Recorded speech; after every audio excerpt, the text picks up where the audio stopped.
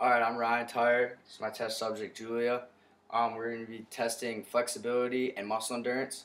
First of all, for flexibility, she's going to have to do an ankle test where she is four inches away from the wall and she has to make, try to touch her knee to the wall to see if she has good flexibility. So go ahead and try it out. As you can see, her knee touches the wall. She has good she has excellent flexibility in her right leg. Now she's going to try her left.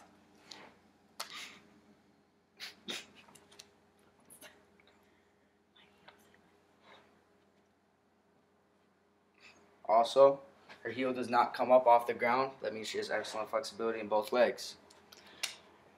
Next, we're going to do a wall sit for one minute. I'm going to pull the timer out.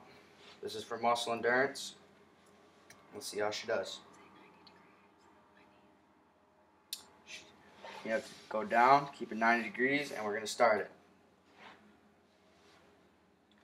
Keep your hands off your legs. Keep the 90 degree angle.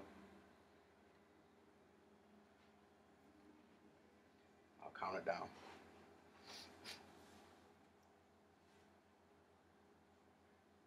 You got it. Doesn't even hurt.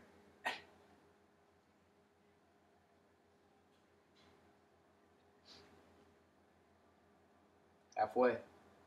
30 seconds down.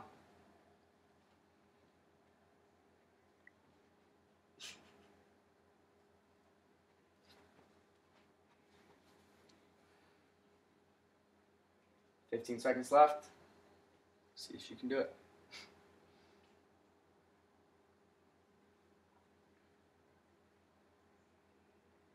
Five, four, three, two, one. Right there for muscle endurance. She went over a minute. She did a good job. And that's it.